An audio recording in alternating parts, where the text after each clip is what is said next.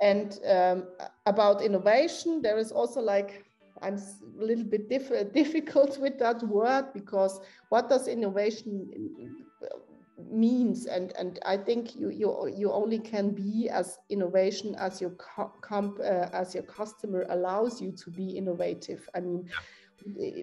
I don't think if the our next uh, for, uh, volkswagen Käfer uh, customer needs a blockchain uh, uh, policy so I, I, I don't know but um, if we can build him like a gps tracker for um, for car thief and and put it that in an app or st- stuff like that that that will be uh, good for him so yeah. so i think you have to always you have always to to move innovation around your uh, customer group. And and yeah. sometimes i feel it's like a little bit too over overestimated. Hi everyone. Here is Désirée Mettraux and this is the future of insurance